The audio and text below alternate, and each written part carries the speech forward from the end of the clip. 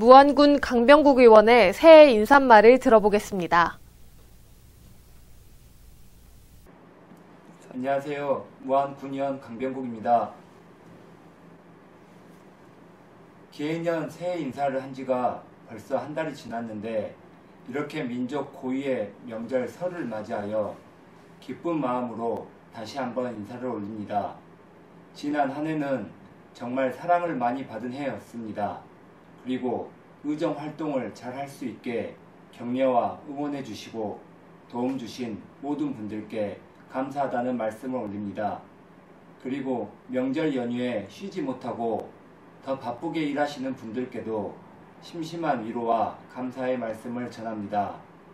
오랜만에 보는 가족 친지들과 오순도순 맛있는 음식도 많이 드시고 주변 이웃도 돌아보며 행복 많이 나누시고 건강하십시오. 감사합니다.